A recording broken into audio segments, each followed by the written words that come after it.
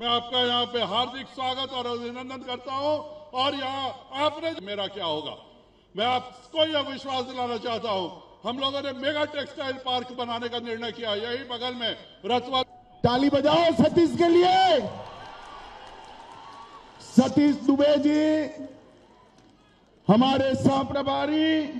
गृह मंत्री होने के नाते नाते उनको कम से कम अपने जिम्मेदारियों को जो है वो निभाना चाहिए। मणिपुर में जो आग लगा, कम से कम उस आग को तो बुझाएँ वहाँ। चुनाव तो आते जाते रहेंगे।